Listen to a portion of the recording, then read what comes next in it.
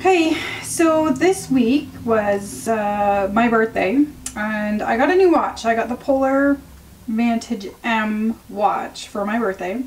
I did have the Polar M400 for about three years and loved it. And so I ended up upgrading. So I got the Vantage M watch. So it's got heart rate built in. Been using it for a couple days now and I really do enjoy it. I'll end up doing a full video about it in the very near future once I actually get uh, working with it more. So, yep. There's my, my birthday present.